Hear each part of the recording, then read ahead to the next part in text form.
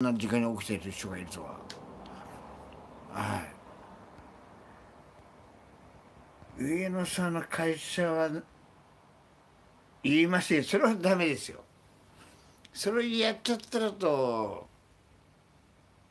なんだかんだお世話になった人なので。それやっちゃったら僕はちょっと裏切りになってしまうので。会社名は言えないしねそれは。まあ荷物の運送はしましたけど会社名いいです。それはまあ動画であの人が撮ってるのでこうやって。でその佐々木さんのまだマネージャーやってる時に。はい。それは言えないですね。会社あの会社名とかは。